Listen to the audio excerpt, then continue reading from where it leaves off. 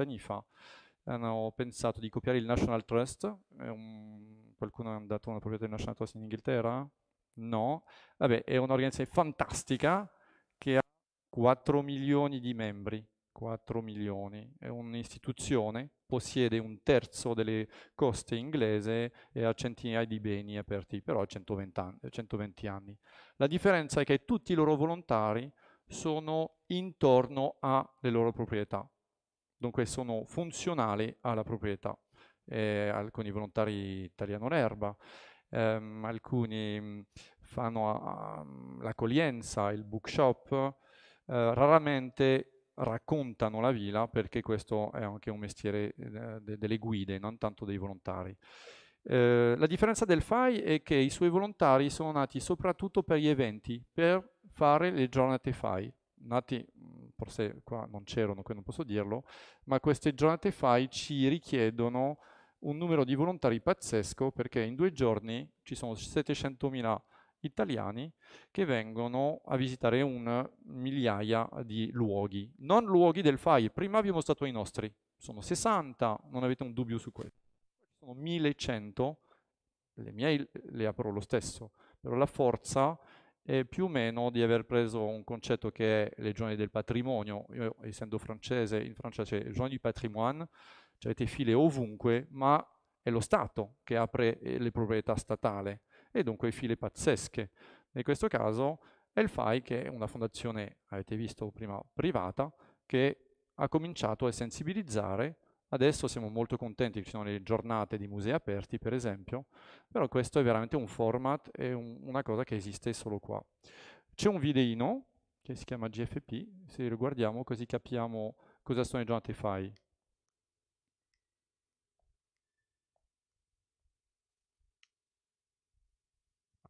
1993, con l'idea di aprire a tutti gli italiani le porte di luoghi chiusi al pubblico o mai raccontati prima, ogni anno, durante il primo weekend di primavera. È un evento unico nel panorama culturale italiano e il segreto del suo successo è il grande lavoro e l'entusiasmo dei volontari FAI, che aumentano giorno dopo giorno. Nel 1996 nasce il progetto Apprendisti Ciceroni. Erano 200, oggi sono decine di migliaia. Nel 1998 vengono aperti 200 luoghi in 100 comuni d'Italia. Nel 2007 i luoghi diventano 500, aperti da 7.000 volontari FAI. Nel 2010 raggiungiamo mezzo milione di visitatori. Nel 2012 nasce il progetto Arte, un ponte tra culture. Visite guidate in lingua per i cittadini di origine straniera.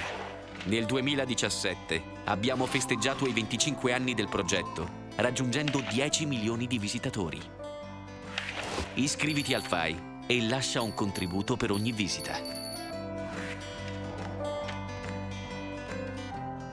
Questo è ovviamente il corso, um, avevamo le giornate FAI dunque una settimana fa, dunque più o meno avevamo tutti questi volontari, però erano giornate FAI di autunno, perché dopo un po' di anni ci siamo accorti che forse facendo quelli di primavera, eh, e stranamente ci siamo accorti perché su internet la gente cercava una roba che non esisteva ancora, che era le giornate fai di autunno. Una roba pazzesca, cioè la gente diceva ma mm, perché avevamo creato un format totalmente diverso che era la Fai Marathon. La Fai Marathon la gente aveva con i shortini, ma purtroppo non è questo che facciamo, ho provato di innovare. Alla fine quando abbiamo prodotto un evento così forte, la cosa molto bella è che la gente dice che lo vuole ancora, lo vuole di più durante l'anno.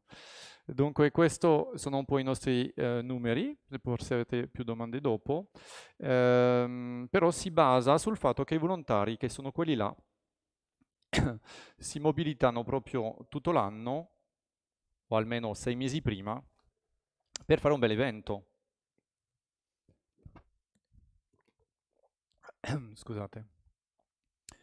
Dunque abbiamo 122 delegazioni che sono proprio costituite, con dei delegati, sono 1200 persone con un, con un ruolo, capodelegazione, ehm, responsabile cultura, responsabile raccolta fondi, tesoriere, e sono ovunque, questo devo dire è un'unicità, abbiamo anche dei gruppi che sono quelli che si avvicinano alla fondazione e che devono, vogliono diventare ehm, delle, delle, delegazioni. di recente abbiamo creato anche i giovani, perché molto spesso è l'immagine che la gente vede del FAI è che era la vostra nonna più o meno che si interessa al FAI, andava a prendere il tè, eh, andava a fare vita sociale, questo era quello che eravamo un po' di anni fa. Loro ridono perché sono più grandi, voi non sapete, ma era questo. Lo è ancora, ma abbiamo i giovani che sono diventati veramente una forza. La cosa interessante è che le giornate FAI di primavera sono fatte dalla delegazione in generale, le delegazioni di autunno sono fatte dai gruppi giovani e questo ci interessa un sacco perché è veramente un modo di dire tu hai l'esperienza comunque della delegazione che può aprirti eh, Palazzo Serbelloni qua in due minuti perché si conoscono, l'hanno già fatto diverse volte, eh, però la forza dei giovani è che comunque te lo raccontano anche di un altro modo, eh, però attenzione, non è un evento per i giovani, il target mio non è sicuramente dei giovanissimi, anche se possiamo arrivare.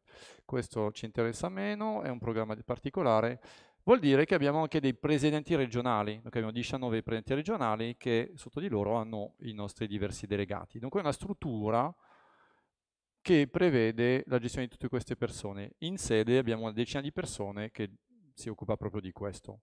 Però tutti gli eventi che Giornate Fai, che sono non in questo ufficio che gestiona la rete, comunica e, e va a mobilitare nostra nostra rete.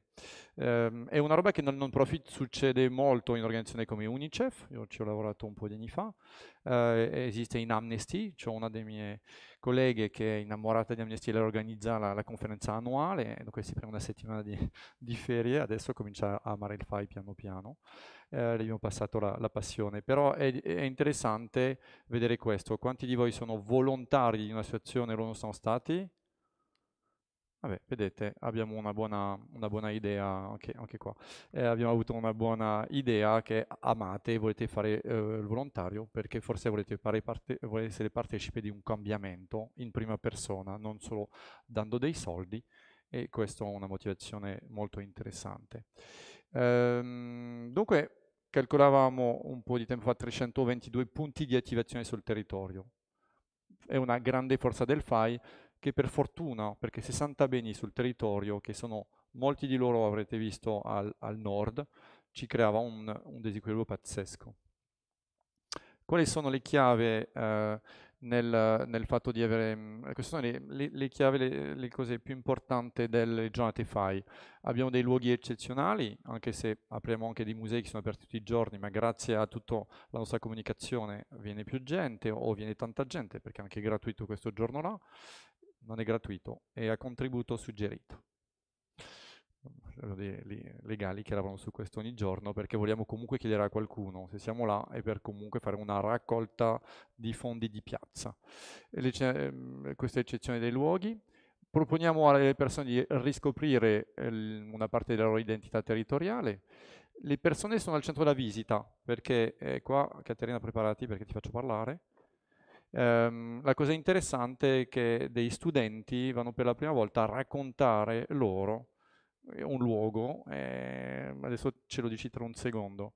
Le nuovi canali di comunicazione, una delle chiavi è stato veramente avere strategie digitali per non essere soltanto a fare affissioni, perché comunque non ci interessavano, che investiamo tanto, però perché vi parlo di questo adesso? Perché la strutturazione dei gruppi eh, e dei volontari è interessante e secondo la slide successiva, la prima, la, la, prima, la chiave più importante è di tutte le nostre aperture. Avete un'apertura con tanti abitanti a Roma, un po' più grande e un po' più piccola a Firenze, Catania, ma in tutti i casi qua si crea una fila pazzesca, cioè più o meno ci sono due o tre file nella città che bloccano un quartiere, qua no, non c'è una, non c'è assolutamente una fila, c'è un po' di gente che viene, piccoli numeri. In tutti i casi, vedete, la chiave dichiarata dai nostri colleghi è avere un gruppo strutturato e fatto bene. La gestione delle code e la formazione e la proprietà di giovani sono anche delle chiavi che abbiamo. Caterina, ti va di raccontare cosa hai fatto e come era la... devi prendere un microfono e venire qua. Se ci racconti così la cosa più importante secondo me è come ti sei sentita e come è stato ok se ce la fai. sì. e, Eh, io ho fatto Cicerone a um, la Sormani, Palazzo Sormani a Milano. E mm, Quando? Mi ero dimenticato, eh, quando ero al liceo, quindi sarà stato tipo... Tre anni fa. Esatto. Siamo proprio vecchi, Silvano. Scusa. Scusa. Otto anni fa, penso. E, no, eh, mi ero dimenticata di averlo fatto. E, è sempre il 25 marzo che è il mio compleanno, tra Ah, l'altro. ecco. Ora Sei che ci ho- ripensato e mi sta venendo in mente. No, ripensandoci mi è venuto in mente che è veramente un'esperienza simile al Sant'Agostino, perché tu arrivi e sei, cioè non sai niente, ok? Ti danno queste slide, te le danno la mattina stessa e ti dicono, bene, tu hai 16 anni e adesso devi presentare a gente che ne sa molto di più di te, perché comunque chi viene. Eh, queste sono le slide tre cose in croce, eh, un palazzo gigantesco con un sacco di quadri di cose, vai. E tu sei tu lì con... hanno tot anni in più di te. Ehm, però è molto bello perché da un lato ti senti molto, secondo me ti senti che ti viene data molta fiducia, perché comunque sei da solo, almeno nel nostro caso era così, noi eravamo tipo quattro compagni di classe e c'erano dei gruppi e a giro li portavamo, avevamo un giro prestabilito. Avevamo fatto una giornata di preparazione, però oggettivamente è come quando vai da Luca che ti dice tre cose, poi esci fuori e ti rendi conto che ne devi fare 300, quindi sì, cioè ti ha un po' preparato, però boh. Però in realtà stavo pensando che da questo punto di vista secondo me è molto positivo l'aspetto del, del dare fiducia ai giovani, ci, ci ripenso oggi a posteriori, nel senso che sentirsi coinvolti mh, e vedere che ti lasciano in mano un gruppo a cui tu presenti, secondo me è molto, alla fine ti tira fuori... Nell'emozione di parlare per la prima volta, forse in pubblico, o non era la prima Sì, volta? anche sicuramente, sicuramente, ma soprattutto eh, appunto il fatto di, che tu venga messo, come dici tu, al centro, anche se sei giovane, anche se ne sai di meno delle persone che, che magari vengono a vedere, ed è anche bello in realtà perché poi chi è lì non è che pretende che tu sappia vita, morte, miracoli. Due domande per te. Quando passi davanti al palazzo, cosa succede che sei con un amico? Cosa dici? Adesso? Eh Niente. no, è che quel palazzo Lo lì per- racconti?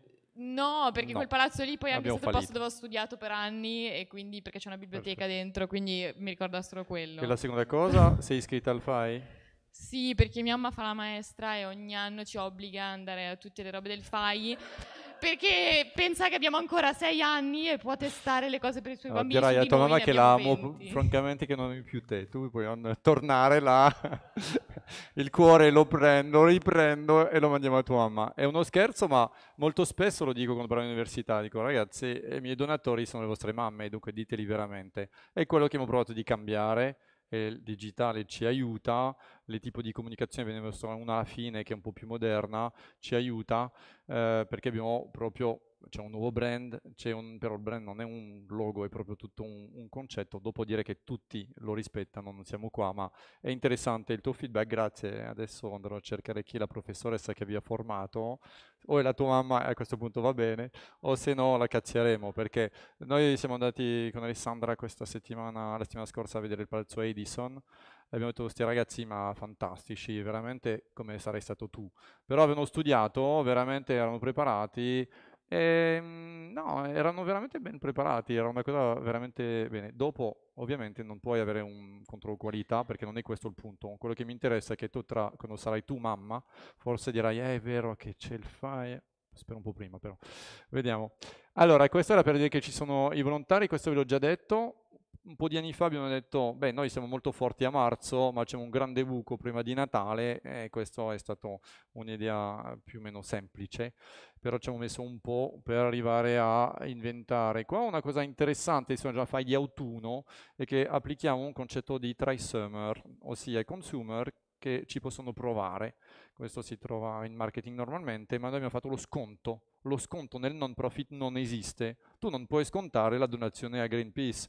Guarda, no, eh, la, la barca o gli attivisti te le faccio 10 euro in meno, non puoi farlo. Noi lo facciamo con eh, l'idea di dire avvicinati, eh, prova. Solamente il concetto c'è un discount piace molto, no?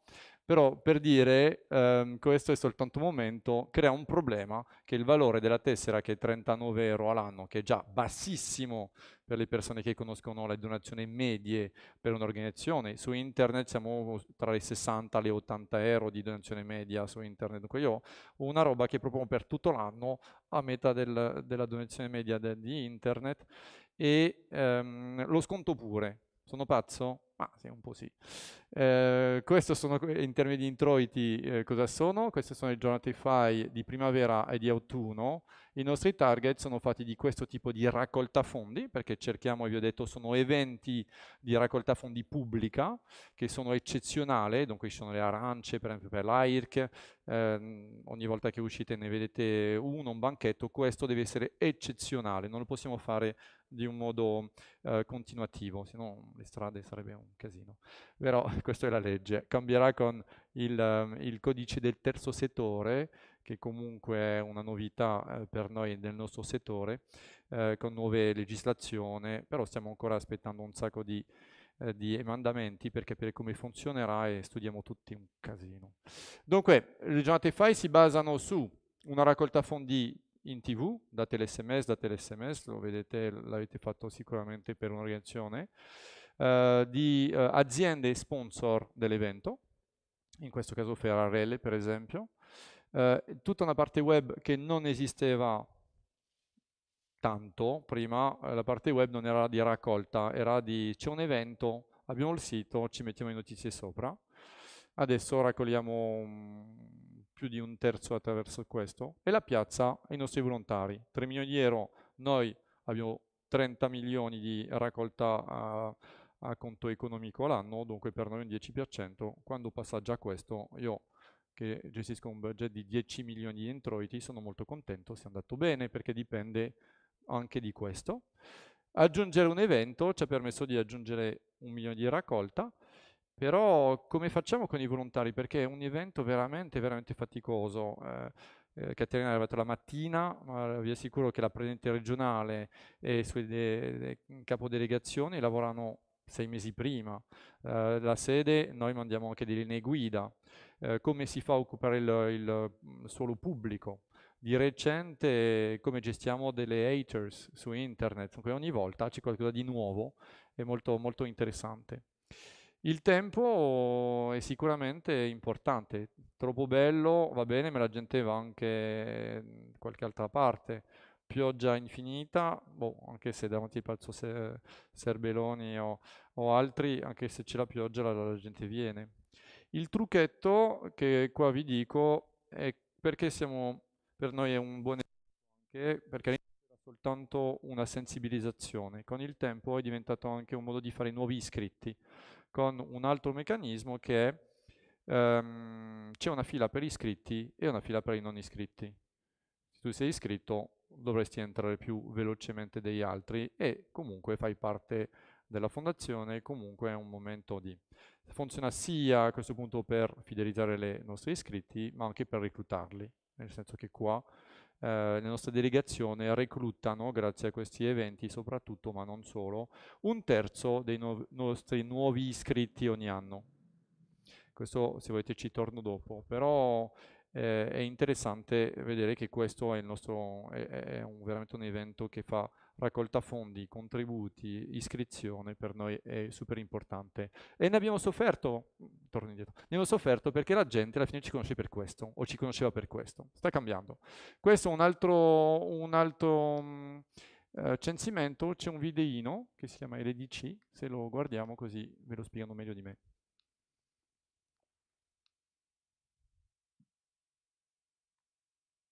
E così bevo.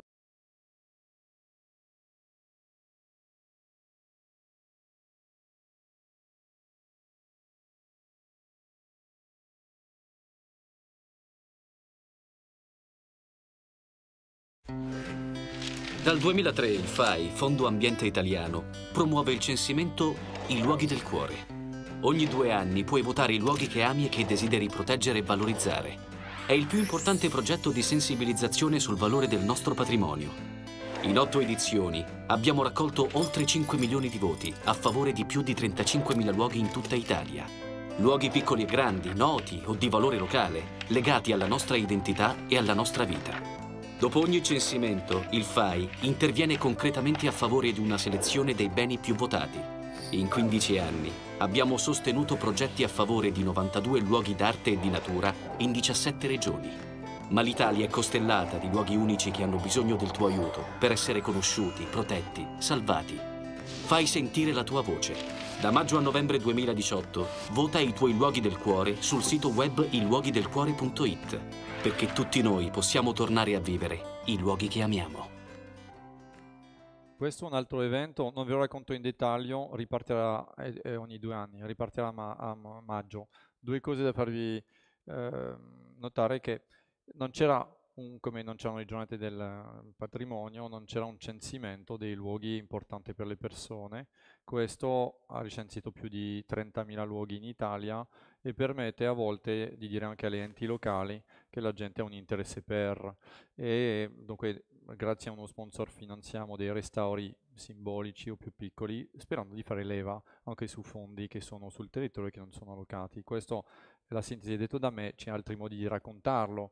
La cosa interessante è questo numero, 2 milioni 200 mila voti, quando io sono arrivato sette anni fa era 1 milione e 2, abbiamo lavorato un casino, eh, mobilite la gente dove? Eh, su internet, dunque qua abbiamo applicato una, una strategia che ha fatto crescere proprio eh, tutta la parte di voti, eh, le persone votano più volte, questo è una roba che ci abbiamo messo un po', perché siamo arrivati perché devono avere una volta, dunque le facciamo votare e rivotare perché sono propensi a votare per un luogo, eh, ma anche investiamo e facciamo molta comunicazione. Quale tipo di video possiamo utilizzare?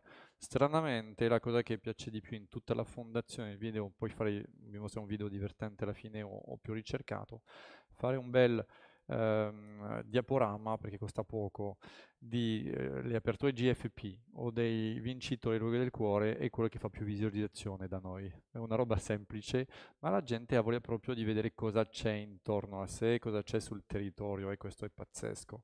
Dunque una roba, però cuore l'abbiamo già visto. Ok, adesso la parte che era più interessante è la crescita che volevo raccontarvi, il resto sono cose che eh, vi può raccontare sicuramente un volontario perché le conosce e tante persone sul territorio. Il fai verso la nuova diminuzione, quello che è successo è un altro modo di vedere la nostra storia. La fondazione con la signora Crespi nel 1975 con altri tre eh, fondatori fino al 2009. Noi la chiamiamo la, la fase di creatività Uh, dunque mm, l'idea era avere un National Trust italiano come sul modello uh, dell'Inghilterra, non più essere come Europa Nostra, Italia Nostra, che è un altro tipo di organizzazione che parla di patrimonio, ma che non gestiva in prima persona, che non può essere un modello. Noi abbiamo 60 beni, non ne avremo 30.000, non ce faremo, ma essere un modello o dare l'attenzione al patrimonio è quello che ci interessa tra altre cose del no, della nostra missione. E mh, prime campagne di fundraising e campagne, eh, di, di, campagne di fundraising mh, e campagne di sensibilizzazione. E, la cosa interessante è che il modo di fare fundraising era un po' diversa, un po' delle proprietà che abbiamo erano persone che conoscevano la signora Crespi, una l'abbiamo acquisito anche grazie a, uh, a, a amici, e dunque è tutta una parte relazionale, no? Però piano piano un, una fondazione che si struttura, che inventa dei format, che ha dei professionisti, fundraiser, che è un mestiere, mm, è un mestiere. E, ehm, sì, sì, ormai lo scrivono sulle carte d'identità, perché siamo molto felici. Dopo un passaggio alla, alla signora Borletti Bitoni fino dal 2009 al 2013 quando è entrato nella, nella vita politica, dunque ha dato l'emissione, e qua lo chiamiamo la fase di riorganizzazione, dunque benissimo, i creativi non sono conosciuti per essere delle grandi oddio, gestion, gest, persone che gestionano bene i soldi, spendono, e quello che è successo da noi. Qua l'idea era andiamo a avere un conto economico eh, che, che, che, è equilibrato, ma disegnare un'organizzazione e eh, avere un piano per la prima volta pluriennale. Qua è entrato un direttore generale eh, nel 2010. Ehm, che ha strutturato, ha reclutato gente come me eh, che vengono dal mondo per esempio del, del non profit, della raccolta fondi nel mio caso.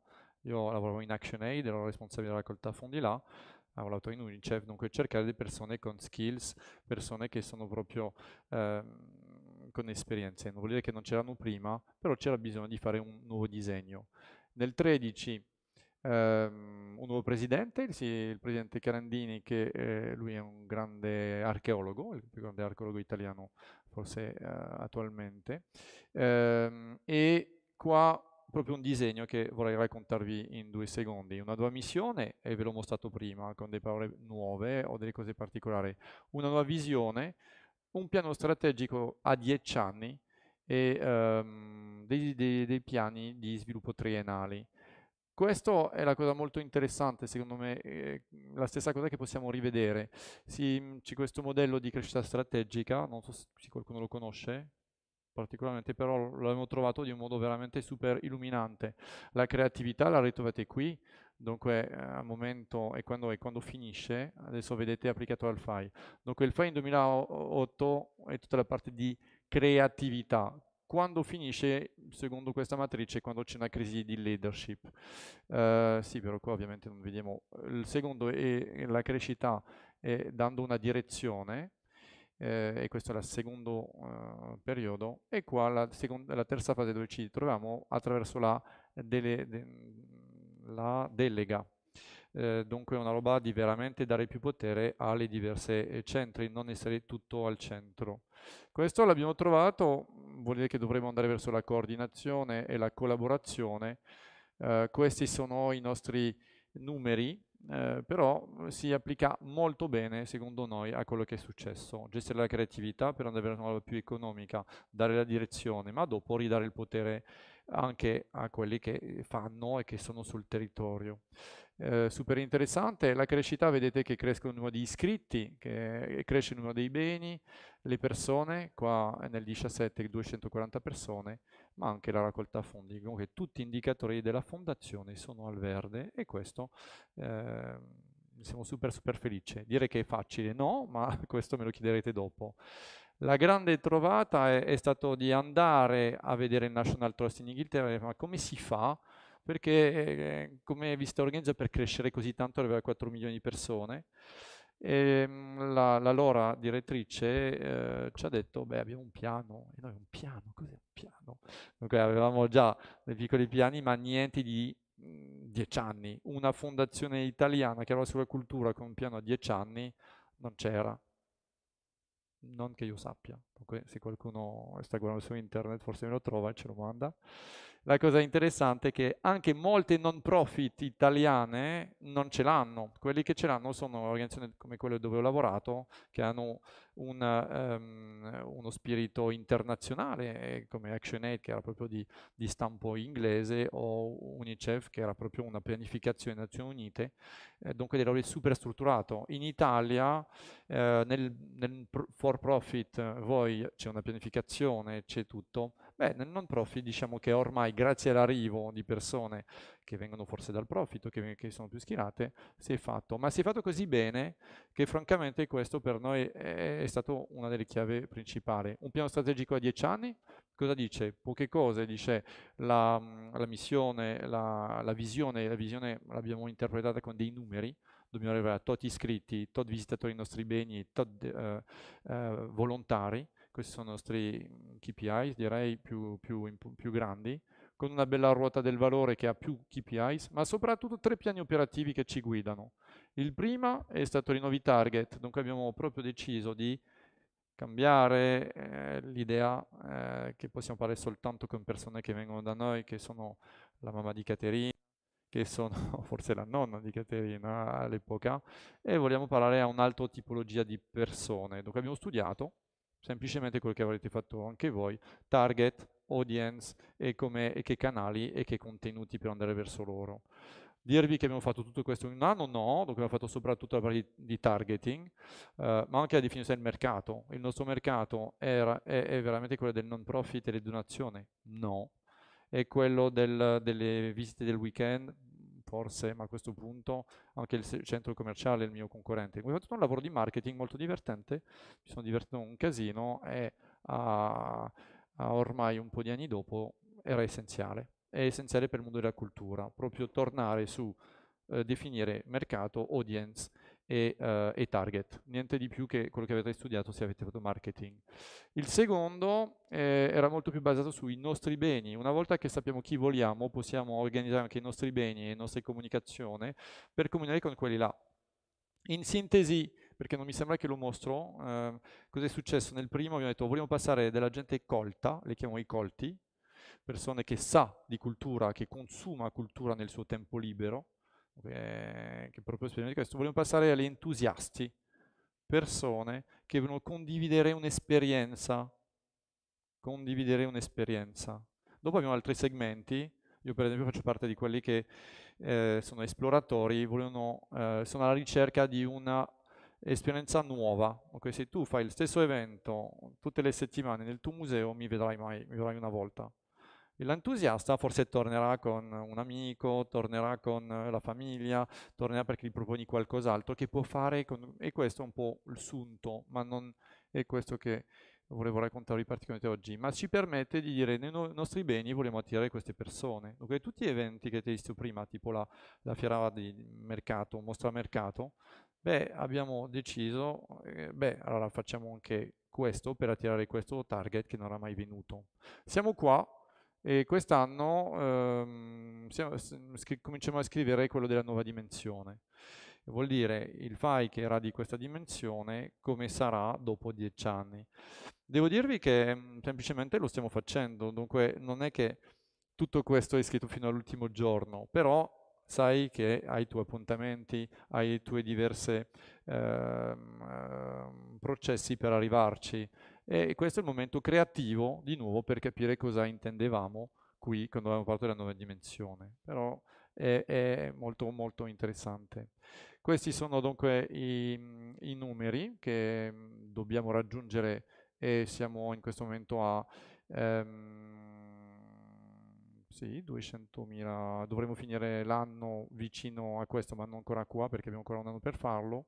Vedete che il logo cambia, abbiamo fatto un rebranding Uh, quasi dopo diciamo, aver fatto la parte di, um, di ricerca, sia ricerca di uh, segmenti, sia della parte di che tipo di comunicazione. Qua abbiamo utilizzato una metodologia che si chiama Emotional Marketing, che proietta la popolazione italiana su diverse emozioni. E, e da là abbiamo fatto una piattaforma strategica di, di, di brand nel quale eh, ci ha portato a cambiare il logo, che, che è più o meno sta cosa qui, anche qua non è stato facile, perché non è che fare, secondo me, una cosa così innovativa, ma diciamo che quello che è interessante non è tanto il logo, è tutta la piattaforma strategica di branding che c'è dietro. Ok, questo è quello che vi ho detto. Nel 15-18 abbiamo dunque fatto i target elettivi, deci deciso mm, meglio la nostra offerta, abbiamo investito tanto in canali di comunicazione digitale, quello che vi interessava molto, e abbiamo impegnato il nostro brand. Questo è l'esempio del materiale. Dentro ogni piano strategico ci sono eh, delle priorità, ma dei progetti con dei owner molto chiari. Boh, niente di incredibile. E, mh, è un altro strumento che ogni anno all'interno di questa, di questa pianificazione abbiamo inventato uno strumento che è nient'altro che eh, la pianificazione, però l'abbiamo chiamato in modo carino, che si chiama il film dell'anno, perché così ciascuno tutti capiscono di cosa si tratta, perché si comincia a dire planning, monitoring, la gente non ti segue nel viaggio. Dunque abbiamo anche i nostri giardinieri sanno che sia il film dell'anno della loro proprietà o dove lavorano. Eh, perché facciamo tante cose, cioè alla fine facciamo tanto che alla fine, la tre giorni che vi ho detto che era il weekend scorso, un po' di anni fa si è trovato il stesso giorno, forse pianificato dai colleghi, che l'evento nazionale, perché non sono gli stessi uffici che giornate fai, perché non sono gli stessi uffici che lo pianificano. È un po' semplice come strumento, ma ci salva la vita. E ogni anno a giugno guardiamo il film dell'anno prossimo, che permette a questo punto di andare ai partner, di pianificazione investimenti, cose varie. I risultati, e finisco con un po' di numeri, sono quelli. Vedete una crescita dal 2010 degli iscritti, vi ho detto che è un focus importante. Il giardiniere di, il giardiniere di prima o il volontario del FAI, ma sanno che l'iscrizione per noi è chiave, è una delle fonti, io lo chiamo il nostro core business, core product, non core business, saranno i beni. Um, è una crescita che, che, va bene così, cresce piano piano, non stiamo neanche prendendo tanto da un solo colpo, però stiamo veramente ottimizzando investimenti e risorse. I visitatori uguale, vedete che qua prendiamo veramente per un numero più ampio di proprietà, certo, però la crescita è molto oltre alle proprietà che aprono, sapendo che eh, qua c'è stato dei problemi di tempo, dunque è un problema in termini di meteo, come per gli eventi, se c'è brutto tempo e vuoi andare a Camogli, non puoi prendere la barca perché c'è mare mossa, mare mosso. E, ehm, e questa è l'ambizione, no? Essere un esempio di promozione, tutela e di valutazione e gestione sostenibile. C'è un cuore, perché questa è la fine della presentazione, vorrei avervi parlato di, di questo nuovo modo di, di, approcciare il mercato, le comunicazioni, volevo mostrarvi l'ultimo video e dopo possiamo passare alle domande, che è una roba un po' diversa. Eh, aspetta, le materie che avete prim- visto prima sono di formazione per i nostri volontari o sono per andare in tv, sono dei motion graphic, costano meno che fare un video. Questo è diverso, eh, è stato eh, proprio investimento di promozione che vogliamo fare viralizzare su internet, proviamo perché non è detto che succeda, ehm, o che utilizziamo per andare in tv quando abbiamo la RAI che ci dà degli spazi gratuiti. Questo è una roba un po' diversa che non penso che la donna di Caterina apprezzerebbe tanto. Vediamo.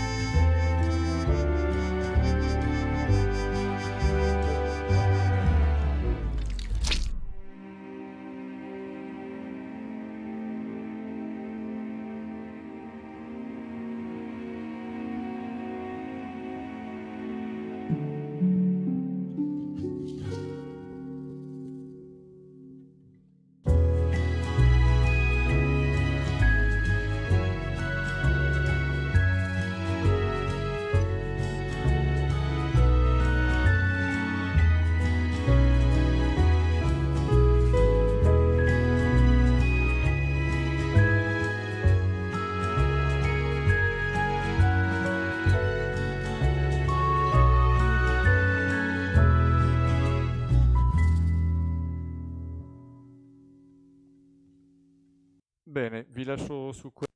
Uh, l'ultima slide dice che abbiamo un sito Facebook, se vuoi ballo, uh, che abbiamo, un, abbiamo, una pagina Facebook, dunque mi aspetto una crescita stasera pazzesca di ben 20 persone più 2000 dietro là. Uh, no, seguiteci, è divertente, adesso che vi ho raccontato un po' le cose dietro, guardateci, abbiamo più di 700.000 persone mi sembra.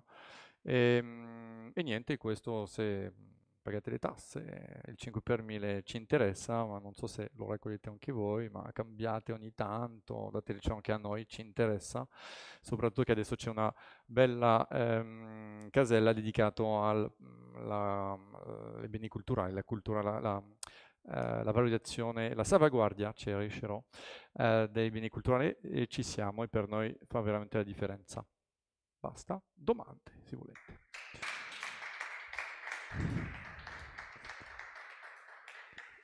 Sono le sette, eh? È stato fantastico. C'è? Allora, a voi le domande. Vai. Eh, devi essere qua, sì. Giusto, giusto. Qua.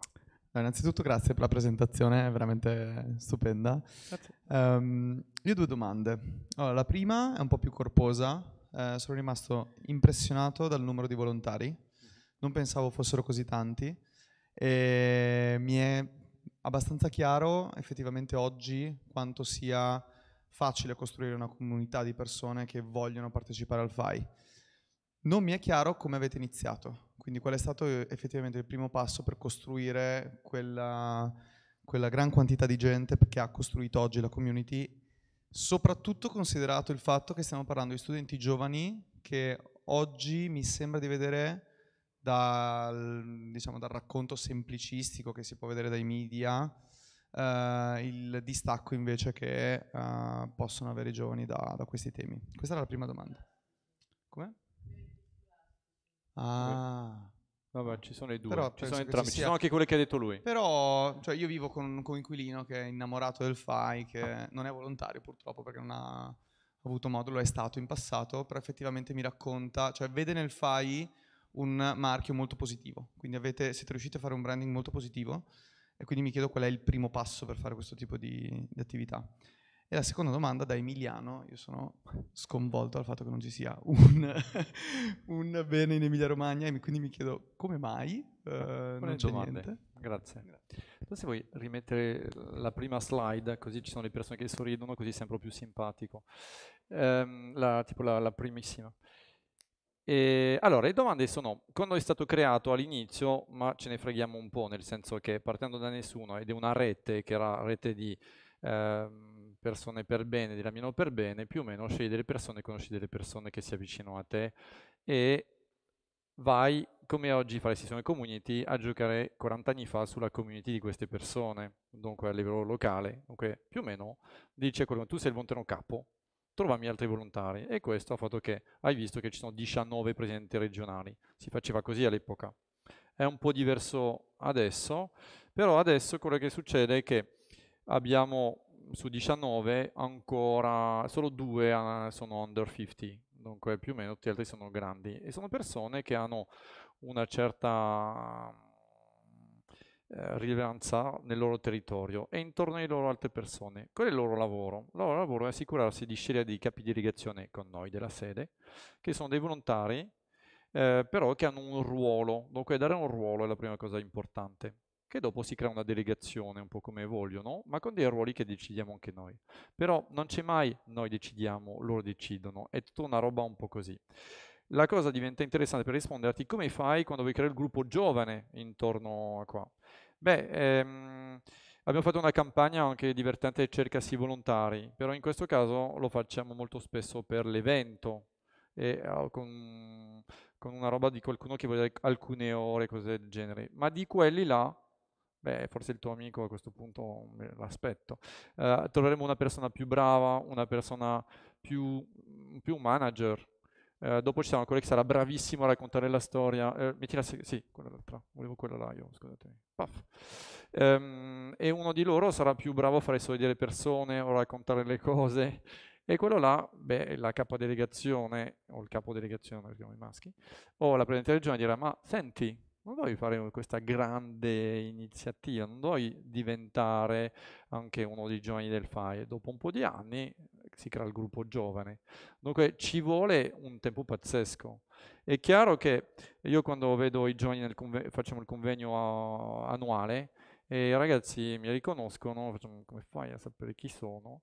Ah, beh, ho visto il suo video sulla rete quando sono stato formato per la, per la giornata. Uh, Caterina all'epoca non avevamo questi mezzi uh, potenti, però lei è un altro tipo di volontario ci arriviamo. Dunque, um, c'è questa cosa di identificare durante gli eventi delle persone più, più in gamba, perché tu lo vedi. Se c'è una fila fuori di due ore, e che devi raccontare, forse devi raccontare più velocemente il prossimo anno, però ti metto a fare la fine della fila per dire fate la donazione, si, trovi delle persone, provi proprio la, la, la, materia e dopo, io dopo le giornate di fare la turno sono andato a fare la pizza con, con i volontari, ci sono alcuni che ci trovano un interesse, un valore sociale, perché hanno un ruolo e come dicevo prima fanno parte di un cambiamento che gli piacerebbe. Dunque c'è la passione, c'è l'idea di voler fare un cambiamento e dopo francamente beh, qualcuno ti dà un ruolo, non è mica male nella vita di oggi, soprattutto se eh, sei giovane, sei all'inizio. Boh. La cosa che dicevamo su eh, Caterina è diverso, che tutti i volontari che hai visto sono quelli che sono formati dalle maestre, e, e, che partecipano all'evento. E qua chi è la chiave a livello dei volontari? È il volontario scuole che va a lavorare con le maestre. È totalmente un altro skill. Lavorare con una maestra, tu ce l'hai come mamma, è un altro mondo, ragazzi, una roba pazzesca perché loro hanno un mondo particolare, devi entrarci e conoscerlo. La seconda domanda? Allora, eh, eh, l'acquisizione dei beni nuovi, è questo di quello che mi stai parlando, perché qualcuno potrebbe dirmi non c'è di un'altra parte, è complicatissima. Noi abbiamo accolto delle proposte, tutti questi beni, non ve l'ho detto, più o meno sono stati dei lasciti, lasciti testamentari, Villanecchi e così, la villa del Balbianello, dove alcuni di voi forse sono andati, sono i lasciti eh, eredi. Ehm, altri, solo uno, il castello di Masino, è stato comprato, ma ha comprato un prezzo simbolico di una persona che non vuole lasciarlo. Um, non siamo ancora riusciti ad avere una politica di acquisizione. Il National Trust compra dei posti o salva dei posti uh, dicendo lo compro. Uh, noi non ci siamo arrivati, abbiamo ancora un anno per chiudere questo, uh, questo piano triennale che si chiama I nuovi beni, fa parte di questo, c'è proprio uno dei progetti che si chiama Qual è il nostro modo di acquisire i beni? In questo momento non c'è neanche un bene a, a Roma, che dovrebbe anche essere ancora più, abbiamo uno a Tivoli, va benissimo, però ci manca a Roma perché c'è già, e qua ti rispondo in parte, un'offerta di cultura, un'economia che funziona e a questo punto prendere un bene noi, mm, forse non c'è bisogno, ma la verità è che non ci siamo neanche riusciti perché c'è già un'economia che gira intorno a questo. Um, volevo dire l'ultima cosa che era... Dunque, come facciamo per avere dei, dei, dei, dei posti? Quello più efficiente in questo momento è l'accordo win-win. La nostra sede appartiene a, a, al demanio, dunque noi siamo là, eh, paghiamo l'elettricità, paghiamo eh, il, riscalda, il, riscaldamento, sotto ci sono 30 km di scaffali di eh, giornali che la Biblica Brendense deve tenersi. Dunque è un accordo dove non, lo Stato non deve più pagare questo perché noi ci abbiamo messo nei nostri uffici. Ovviamente le scrivanie le abbiamo fatto pagare o regalare eh, lampade da, da, da, aziende che ci, che ci, aiutano. La cosa interessante, ti ho detto di Leni, Leni non sa come raccontare eh, una salina, è venuto da noi, ma le saline le raccontiamo noi. Eh, dopo si apre tutto un discorso su etico, eh, non etico, come vuoi lavorare, come scegliete i tuoi partner. Ehm, però la cosa interessante è ehm, nel, parco della, eh, nel parco della Sila in Calabria c'è un accordo con l'ente parco. la cosa interessante in questo momento che sta funzionando bene per noi è fare accordi eh, con dei, dei luoghi eh, che non sono nostri, che non diventeranno, ma che sono in concessione o, o dove quali potremo fare l'uso per un po' di anni. Questo sta funzionando bene, però non è che posso scegliere ok, lo voglio qua. E, e neanche c'è, eh, ti assicuro, non c'è neanche lo studio di il miglior posto per aprire un bene sarebbe qui. Voi lo fate, immagino in termini di retail, eh, vedete il passaggio. Noi qua speriamo di poter valorizzare i bagni diurni eh, che sono a Porta Venezia. Cioè, io faccio una battaglia per raccontare ai miei colleghi che io voglio soltanto un gazebo sopra e pago anche io, semmai l'utilizzo del spazio, del spazio comunale, ma che mi serve come prendere le persone e dunque geomarketing. Non ci pensiamo neanche, però è chiaro che nella strategia c'è che dovremmo avere un bene in ogni regione, certo. Però se tu conosci qualcuno che vicino a casa tua ha una roba interessante, ci parliamo, perché funziona anche così. Sono Alice. Nel... Anch'io ho due domande. Eh, la prima è come e se fate network con i competitor nel senso, soprattutto a Milano, ma poi in tutta Italia, tra il Touring Club, eh, i borghi più belli d'Italia, Milano, ma continuano a nascere, Open House Milano, penso Brava. che abbia qualche anno neanche, certo. quindi come se fate network. E la seconda invece è ehm, più personale, nel senso che io ho fatto la magistrale in Bocconi, ho fatto l'ACME, ero col professor Andrea Rurale, sì. magari lo conoscete. E abbiamo fatto dei progetti, uno dei progetti era un progetto di marketing territoriale sul castello di Masino. Ah. E uno dei problemi che c'erano ehm, quatt- quasi cinque anni fa al castello di Masino era che più dell'80% dei visitatori annuali di tutto il ca- del castello erano concentrati nei tre giorni del, del giardino. E quindi mi chiedevo se in questi cinque anni la situazione era cambiata o se invece avevate deciso semplicemente che la strategia era avere tanti visitatori in quei giorni. Oppure... Ehm, allora, la prima, così ci- eh? Networking. Networking. Allora, la bellezza del non profit è che puoi vedere i tuoi concorrenti essere nella stessa stanza. eh, e, e per esempio, quando parlavo un giorno, vado all'Unicef eh, dove lavoravo, dunque conoscevo tutto, e la nuova collega che veniva da, reclutata dal profit, da Colgate, da Colgate, e dice: Ah, è la prima volta che incontro un concorrente. Detto, Beh, noi siamo un po' diversi. eh, e abbiamo bisogno di fare lobby, dunque abbiamo bisogno di vederci, abbiamo bisogno in questo momento dove viene ridefinito tutta una parte di legge del terzo settore, abbiamo bisogno di, di- di dire attenzione, se, se scrivete questo succede questo. Siamo anche attrezzati per fare un lobby un po' più strutturato, però come dicevo i concorrenti, in questo caso, nel caso del FAI, cos'è? Il Turing sicuramente un- una persona che si occupa di- della stessa tematica, ma il Turing non è eh, un'organizzazione non profit, c'è una parte proprio commerciale, una gestione commerciale è preso da tante attività commerciali, no? Eh, dunque, eh, ci parliamo soprattutto quando dobbiamo fare il lobby, di nuovo, sulle campagne. Dunque, molto spesso vorrei uscire qualcosa del WWF, del Lega Ambiente, del FAI, de- mm, sì, dipende la tematica, ma proviamo di fare gruppi per riuscire a mobilitare eh, l'opinione pubblica su una tematica. Eh, però se tu vedi 2.200.000 voti per Luoghi del Cuore, non siamo mai riusciti anche in network a creare una, una petizione così forte, quella sul glisofatto, ricordo bene, eh, ha, raccolto pochi numeri contro, ha raccolto poco in Italia. Dunque il focus era troppo largo, eravamo tutti messi insieme, ma veramente eh, secondo me non abbastanza forti per fare la differenza.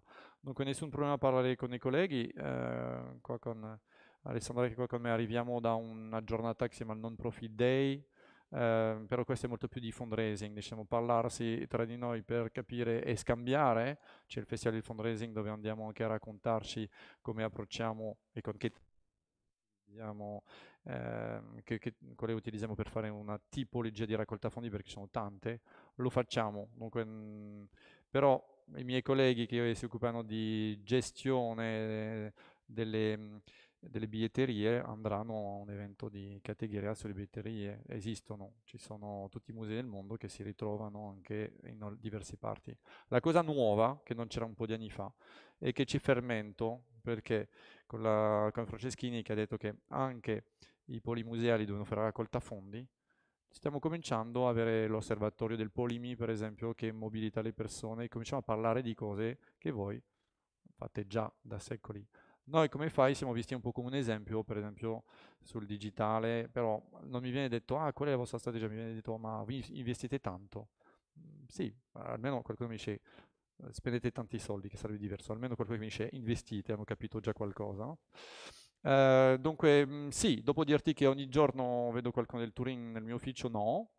Eh, però stranamente quello che è successo è che una ragazza che lavora con me in ActionAid è andata a lavorare al Turing, dunque alla fine si ricrea, hanno capito che hanno bisogno di fundraiser. Ti ho risposto perché io sono un fundraiser, è più facile per me risponderti su questo.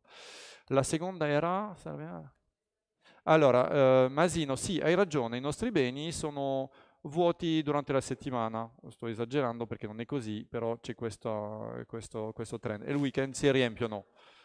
Sì, sì, sì, e il gasto di Masino, quello che hai visto prima, la, mostra mercato, è proprio una roba pazzesca, arriva a 50.000 persone là per questi tre giorni. Allora, cosa che ha fatto la prima è farne un secondo, no? Dunque, ci sono tre giorni, più due che sono diventato tre. Dunque moltiplichiamo e la gente fidelizziamo esattamente come prima. Il resto dell'anno è venuto fa, eh, si, si fa diversi lavori. Ehm, sicuramente offrire nuove cose, c'è stato fatto un parco per i bambini, c'è stato finanziato, non un parco, scusami, alcuni giochi per i bambini, abbiamo rifatto la caffetteria, ha fatto delle proposte un po' diverse. Rimane che il più grosso problema è che sì, c'è l'autostrada che passa là, ma comunque in termini di geomarketing è un posto un po' isolato, no? Eh, l'ultima cosa che, su, che, succede a questo punto è il digitale, quanto posso investire per fare le persone. E, e qua su questo territorio particolare, non so se avete studiate, c'è una vera concorrenza che è la eh, carta dei musei. Dunque, carta dei musei che tu, molti dei musei della, del Piemonte eh, sono gratuiti, gratuiti, se tu arrivi con la tessera. Esiste anche qui, ma non ve l'ho detto. Eh, scherzo perché siamo anche noi, per esempio, in alcuni, in alcuni nostri beni sono nella carta eh, musei.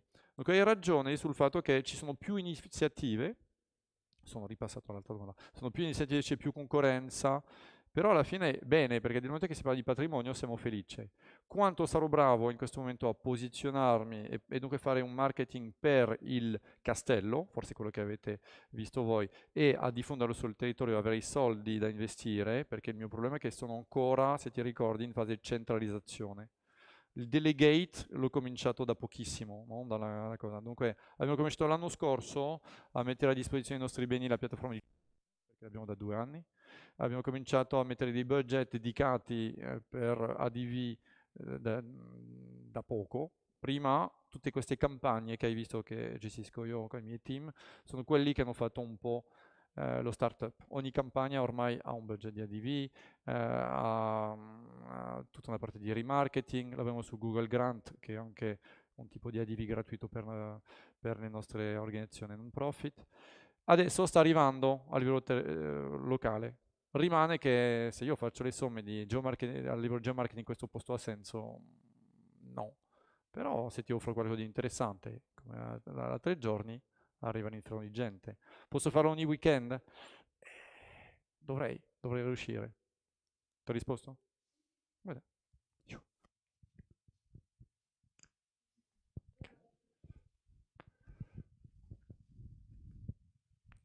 No, eh, ciao Silvano, eh, noi ci conosciamo, abbiamo già condiviso un po' di cose. Io conosco il mondo del no profit eh, perché l'ho bazzicato per otto anni e quindi mi domandavo le facce che facevano i membri del so, consiglio direttivo quando parlavi di targeting, budget, geomarketing, eh, cambiamento strategico, cioè quanto è stato difficile per te far entrare questa nuova mentalità e questi nuovi metodi in un'organizzazione che, come hai raccontato tu, era basata sulle relazioni, sui lasciti, su una visione, diciamo, eh, poco orientata alla crescita e all'innovazione. Uh, grazie, eh, infatti noi ci siamo incontrati cioè, come ci guardare i vostri numeri, ho detto ma come fate voi a crescere così tanto? No? Come faccio a fare questo qua? Da noi c'è stato eh, un board e abbiamo visto uno, questo pomeriggio eh, con Alessandra una presentazione proprio sui board. Ci sono diversi tipi di board, ci sono tipo di anche la presidenza che possono essere persone che vogliono fare un po' tutto, sì no. Uh, il nostro board ha diverse anime, cioè abbiamo anche dei banchieri che uno l'ultimo giorno, l'ultima riunione diceva ah ma adesso stiamo facendo del mass marketing allora.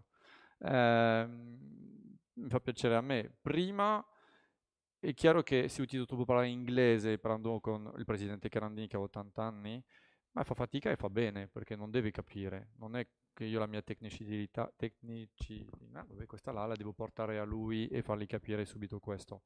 Però la voglia di cambiare ce l'aveva proprio lui, è la metodologia di andare fuori e portarla. Il problema e la difficoltà è far riconoscere la professionalità di chi c'è dentro perché molto spesso è ma chiediamo all'esperto. Dunque noi abbiamo, come tutte le onlus, avuto anche dei, eh, dei pro bono, dei grande, più grande eh, organizzazione di, di, consulting, e neanche loro sono riusciti a fare approvare tutto, no? o a fare tutti i loro piani, alcuni sono stati accantonati, dunque hai ragione, non è facile. Sulla parte del cambiamento reale di brand ti dico come è successo e che si dovrà fare il sito perché il sito faceva schifo e non sto parlando di board member perché ti dico alcuni sono proprio preparati ti parlo proprio alle persone più eh, operative e rifare il sito per una persona di 80 anni vuol dire, mm, eh, vuol dire le cose che non sono le stesse nostre, no? Però va benissimo perché dopo li spieghi, li rispieghi, essendo persone molto intelligenti, riesci a però al momento devi dire, dire guarda che la home page non la, devi, non la deve disegnare lei, Presidente. Eh, per questo c'è l'agenzia, cioè, perché ci sta, perché se tu hai lavorato tipo, a fare dei libri come ha fatto lui, a fare le copertine dei tuoi libri, è la tua logica, giusto? Cioè andavi in tipografia e rivedevi, facevi il visto si stampi. Quando spiego ai miei ragazzi che fanno solo digitale che c'è il visto si stampi, mi guardano male, c'è una scadenza. Eh no, l'agenzia digitale ci ha detto che ci stanno lavorando. Sì, però ragazzi c'è una deadline o no? Eh, la stiamo rifissando. E così, per esempio, c'è un progetto che aspetto da tre anni. Oh, mi incazzo, mi incazzo, un altro discorso. Ehm, però è stato interessante e come la nostra fondatrice ha visto anche il, il nuovo logo, per loro son, possono essere questo il rebranding. Però dopo, quando metti le persone, sei bene, definiamo e facciano interviste di quello che vedono, perché vedono molto oltre a noi, perché hanno più vissuto la, il mio consiglio è fare interviste, bloccare le persone e prendere da loro, perché comunque trovare delle cose utili da rimettere dopo dentro un format che può essere strategico, cose del genere. Il cambiamento mh, mm, era necessario e dunque anche loro lo volevano.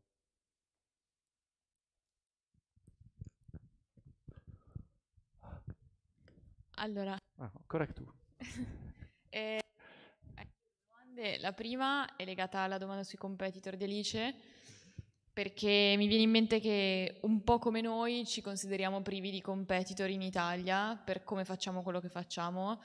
E, e, spesso quando diciamo come migliorarci guardando ai competitor, da chi copiare per migliorarci, eh, ci immaginiamo di diventare come delle aziende che non fanno quello che facciamo noi, ma che funzionano molto bene. Quindi mi chiedo se anche per voi può essere così e quali sono magari le aziende o i no profit a cui vi siete ispirati in passato nel dire appunto magari non funziona il nostro marketing, io voglio fare il marketing seg- seguendo le logiche di XY, anche se non è il Touring Club italiano perché certo. noi vogliamo andare più in su. La prima domanda. La seconda, sempre legata un po' al, forse al nostro percorso, è eh, com'è stato, se l'hai vissuto o se ti hanno raccontato, il passaggio da eh, una realtà tendenzialmente piccola in cui i fondatori, chi dava i, chi dava i primi beni, i mh, mm, primi persone che partecipavano si conoscevano tutti, a una situazione in cui ora immagino che magari nell'ufficio centrale vi conosciate tutti e cento, quanti siete, ma comunque poi sul territorio è più difficile conoscersi in un'ottica di un'azienda che passa da conoscersi tutti a è impossibile che ci conosciamo tutti, ma vogliamo che la mission aziendale passi certo. attraverso tutte le persone.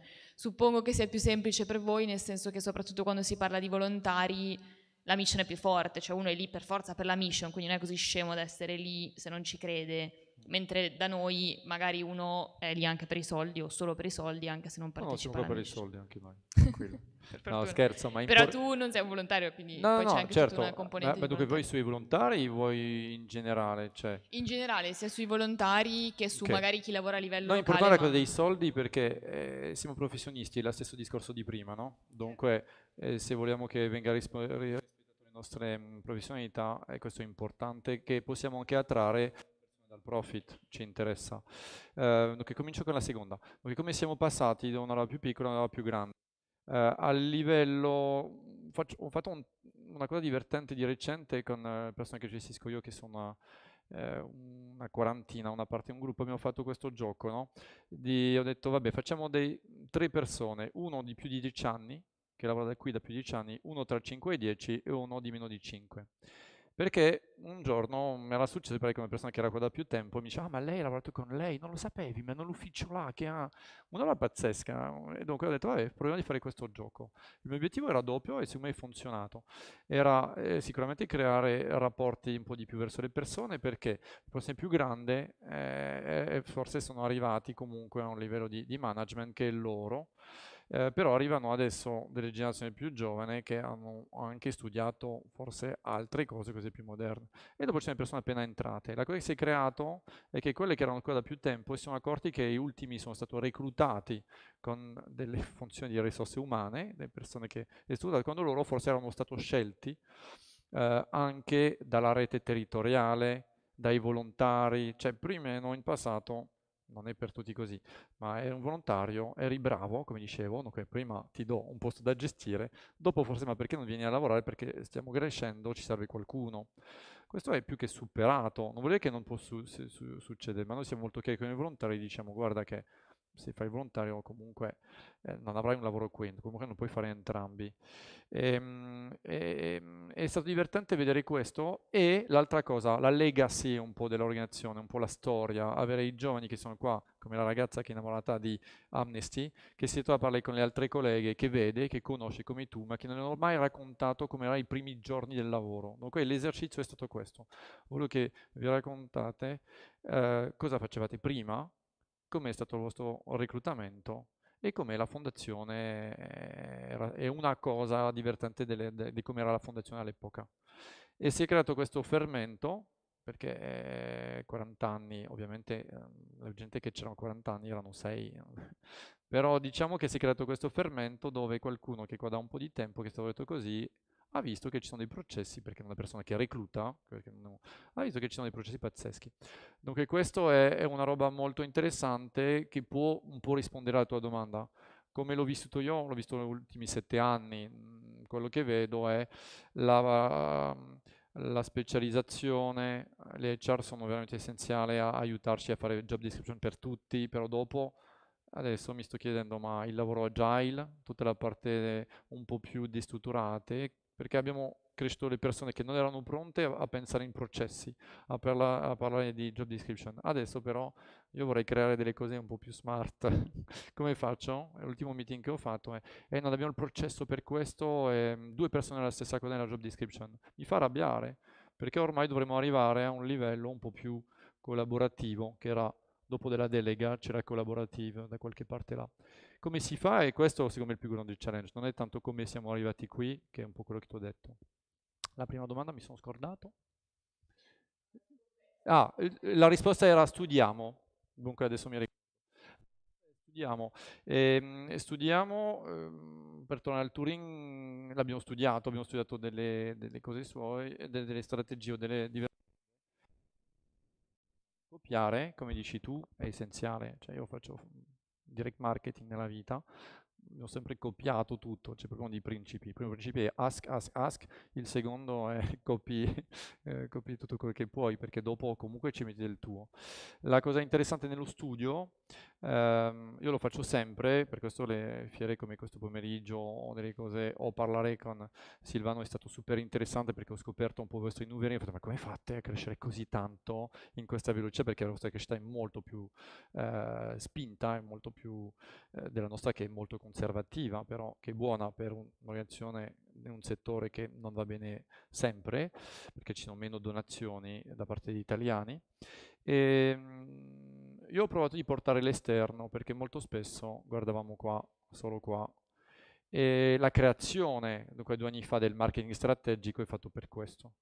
È fatto proprio per portare l'esterno dentro, ma anche mettere in ordine i studi che facciamo, okay, tutte le diverse macro, perché non abbiamo soldi a fare delle ricerche di mercato pazzesche, però a volte eh, ti serve spendere queste migliaia di euro per andare a convincere qualcuno che dice ma no questo non mi piace, questo non mi piace cosa vuol dire questa campagna, questa campagna ha vinto quella là in, e dunque questo l'abbiamo portato piano piano. Adesso quello che stiamo provando di portare è sempre più fuori, certo, ma soprattutto una regia perché non tutti partono nello stesso modo quando si parla di, di studio. Dunque mettiamo insieme la responsabilità degli studi, prendiamo delle cose che vengono fuori e da là abbiamo un po' di strategie di marketing. Il marketing, il board ha visto che si è creato funzione di marketing proprio strategico. Eh, abbiamo dopo un ufficio operativo, tutta la parte di marketing della gestione dei beni. Dunque sono comunque delle cose che accettano. Però da noi si dice una cosa, che c'è un, una moneta con due facce, la parte dei soldi, la parte della gestione e l'altra parte della cultura e io vi ho parlato poco di questo, della valorizzazione, dunque come raccontiamo. Sono come in tutti i musei o come non lo so, alla Bocconi ci sarà il corpo docente, eh, didattico importante quanto la parte di gestione. Nell'ospedale c'è la parte eh, scientifica, medicale, la parte gestione. Noi abbiamo la stessa roba, dunque oggi io ho parlato molto di una, però dovete sapere che c'è anche tutta l'altra parte che è importante quanto questo. Eh, tu hai risposto? Ok. Allora, io invece di farti una Anche domanda... tu fai domande? Sì, ah, sì, no. anche io ti faccio domande. Invece di farti una domanda ti propongo una scenetta surreale, Ah, eh, nella quale io interpreto il ministro della cultura italiano, che parla con te, che sei il direttore generale FAI, colui che magari. può decidere FAI, e facciamo un botta e risposta. Ok? Faccio le domande, e, come se fossimo seduti a Roma in una trattativa. Mm? Proviamo a fare questa roba. Eh, ehm, allora, come ministro della cultura italiana io sono interessato a due cose. La prima è aumentare progressivamente, ma in modo molto significativo, la fruizione che gli italiani fanno dei loro beni culturali. E in particolare quello che mi interessa è spostare quote importanti percentualmente, non in valore assoluto, dai soliti 20 beni visti da tutti ai beni distribuiti sul territorio. Secondo obiettivo che ho, io ho un enorme problema di gestione ehm, sia in termini di messa in opera di questi beni, mantenimento, sia in termini di proprio gestione operativa. Se decidessimo come Stato italiano di usare voi come strumento per fare questa cosa, di quanti soldi avete bisogno e per farci cosa? Ok, lavorate ogni questo? Complimenti. Allora, sul, eh, sulla prima cosa che è interessante, ehm, però in questo momento stavo riflettendo, ricordami la prima esattamente. Eh, eh, degli italiani, dei loro Sì, beni ce l'ho. culturali. Allora, la cosa mh, che funziona, che ogni bene in questo momento è preso abbastanza come un unicum, no? Eh, ossia i beni anche dello Stato sono proprio gestiti, hai detto tu, ci sono le 10 superstar, le 20 superstar e dopo gli altri un po' lasciati. Dunque il problema della gestione è quello che eh, ha fatto Franceschini di dire bene, adesso raggruppiamoli, c'è stato questa cosa di, di- di poli museali, funziona perché noi abbiamo una forza che se tu vieni a Vilanecchi, io prendo i tuoi contatti, o provo e ti rimando verso un altro. Dunque c'è un sistema no? che in questo momento mh, per il governo, secondo me, ehm, sono delle iniziative. Le musei aperti, tu sceglierai sempre un posto no? e andrai molto probabilmente in quello là. Quello che mi interessa in questo momento è che tu capisci che sei all'interno di una rete di beni e che sono tutti interessanti. Quello l'ho visto proprio con i miei occhi quando vedi i professionisti eh, di questi poi museali. Hanno cominciato a farlo. Hanno cominciato a chiedersi ma come facciamo per valorizzare anche il bene piccolo se c'è tanto traffico su quello grande? Perché potrebbe interessare le persone perché la tematica è vicino o è complementare. E questa è la, la, la cosa proprio da, da cambiare di mettere a fuoco secondo me. Eh, perché noi funzionato. Io avrei solo Vilanecchi non sarei qua a parlarti no? La domanda è di quanti soldi avete bisogno No, questa è la per seconda? No, ma è Questa era la insieme. seconda. Eh, dopo la gestione del FAI, se hai visto, eh, sì, noi se dobbiamo gestire tutto questa qua, non è proprio l'idea che abbiamo di una fondazione privata. Eh, Una fondazione come la nostra va in sussidia- sussidiarietà, dunque può mettersi a gestire alcuni posti. Però come hai visto dalla missione finale, l'obiettivo è proprio essere un esempio. Dunque, come fare, non è un problema di soldi perché non ne vogliamo, ma insegnare come mobilitare dei soldi alle persone che lavorano già là. Dunque insegnarlo non possiamo neanche farlo perché eh, io non capisco neanche quello che succede dentro tutta la parte dei tuoi ministeri, visto che li organizzate tu e che tutti questi colleghi li reclutate tu. Ehm, e qua diventa interessante quando vedi un Franceschini, scusate mi sembra che sono la sua più grande fan, che va a reclutare direttore di musei all'estero Però e che io, dice... io, io capisco quello che stai dicendo, qual è il tuo Allora, obiettivo. quanti soldi non lo so, è quello che vuoi No, ma il tema, il tema è questo qua. Eh, dentro il tuo modello c'è una cosa che io come Stato non riesco a fare, i volontari. Io come Stato non riesco mai a mobilitare dei volontari. La gente non si fida di me, non fa quello che dico io. E c'è anche una parte di quelli che oggi sono tuoi volontari che se lo Stato provasse a farlo direbbe di cosa stai parlando? I sindacati impazzirebbero. Certo. Quindi io non lo posso fare. Allora, quello che è interessante per me in quello che fai tu è che per ogni euro che io metto su di te, se tu accettassi di usarlo eh, per capire come, il moltiplicatore potrebbe essere molto alto. Anzi, potrei addirittura proporti un deal di questo tipo. Ogni euro privato che tu riesci a trovare o ogni ora di volontario che tu riesci a trovare, io ti metto altrettanto sul piatto. Ok, hai sentito parlare del, del progetto Aperti per voi dal Turing, perché è quello che fanno, aprono dei beni, aprono il Quirinale per esempio, però sono volontà che aprono, non raccontano perché c'è una categoria professionale che fa questo, che sono le guide, giusto? La cosa interessante è che io ti sposterei con quel discorso, perché non è che io voglio che tu faccia questo, io voglio che tu diventa bravo a gestire, perché un potenziale ce l'hai. Dunque la gestione della tua biglietteria, la comunicazione è quello che ti permetterà dopo di prendere gente che pagherai. Il problema che hai in questo momento è che c'è delle entrate troppo basse per la massa di persone che vuoi utilizzare. Dunque mi dispiace, ma è questa la via. Però Non- tu sei francese e tu conosci bene la quantità di soldi che la Francia mette sulla cultura, che è un moltiplicatore pazzesco rispetto a quella che ci mette l'Italia. Quindi se io volessi fare bene le cose, come Ministro della Cultura italiana, dovrei messo- mettere una massacrata di soldi in più, Ma- se no non, non riuscirei a ottenere quello che dici non è vero perché la Francia, mi dispiace, ha il stesso problema, ha appena lanciato la lotteria per il patrimonio culturale e ci ha messo una persona famosa che è un VIP a raccogliere i fondi, dunque però sta raccogliendo fondi. Ha beccato 15 milioni. Sì, sì, però il Louvre, il Louvre prende un miliardo l'anno. Eh, ma il Louvre è uno Il- dei il- 10 che hai qui, Sì, no, ma se tu vai, se tu vai a Firenze alla- agli Uffizi, non, so- non è un miliardo, sono 100 milioni. Però da quando hanno Capito? avuto una gestione diversa sono cresciuti sia le visite e, e questo è il punto, dunque te lo sposto, non mi interessa sa- dirti quanti soldi hai perché francamente non lo so, e dirti che puoi avere delle professionalità che ti permettono di aumentare i tuoi ricavi e se tu deleghi, che è una roba interessante quello che stiamo facendo anche noi, perché a Masino la domanda che ha fatto la collega, noi la stiamo facendo alla collega che gestisce il bene, che non è da sola perché è una struttura per a- a- avvicinarla, a, aiutarla, no? Ehm, dunque la, la vera cosa che sta funzionando è dare deleghe e obiettivi. A questo punto puoi moltiplicare tutto quello che vuoi in termini di risorse che utilizzi per offrire una migliore fruizione ai italiani, che è il tuo obiettivo finale, vero? Ok. Dunque fare sapere alle persone che c'è anche questo luogo là, che forse c'è un evento di sera perché a questo punto pu- puoi pagare chi vuoi, i sindicati, dici, senti, io devo bisogno di fare lavorare altre persone la sera, come facciamo, come ci organizziamo? Perché offerto- ha fatto un'offerta che piace a lei, ma lei in questo museo là non ci vuole mai andare.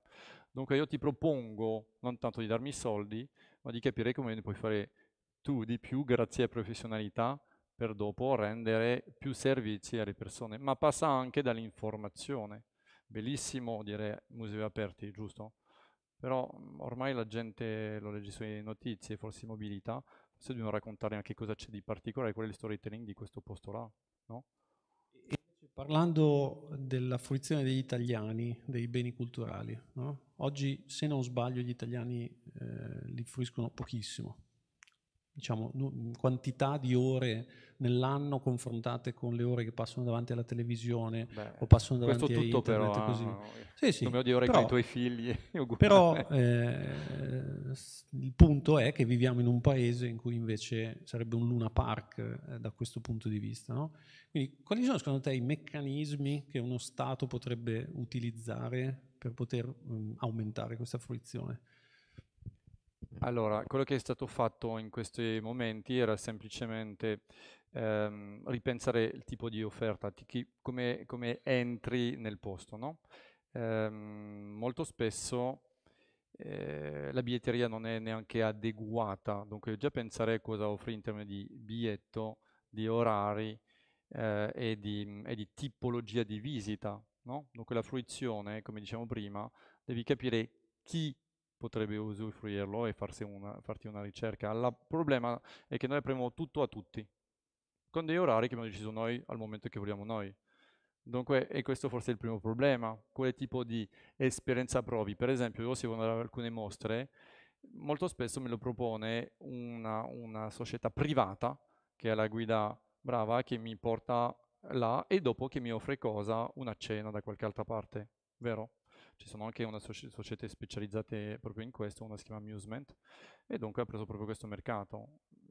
Non me lo offre il, il pubblico, il pubblico però mi offre la, l'affitto di alcuni beni, dunque per società, per eventi, eh, e questo hanno cominciato a farlo. Però mh, mm, piuttosto che fare un accordo con me, serve proprio riuscire a capire qual è il mio mercato, come lo, lo, lo, lo, approccio, cosa gli propongo e forse fare degli accordi sul territorio per creare un fermento economico eh, sul territorio. Un'altra domanda. Mm, L'ultima? Noi... Fammi vedere. Ah. Che uomo. Noi abbiamo l'abitudine a considerare la fruizione di questi luoghi, di queste bellezze eh, che voi gestite o che voi fate vedere in termini di c'è un luogo, ci sono delle persone che fisicamente vanno lì a visitarlo. Hm? Poi però ci sono tutta una serie di beni che potrebbero essere presi e utilizzati da privati pagando.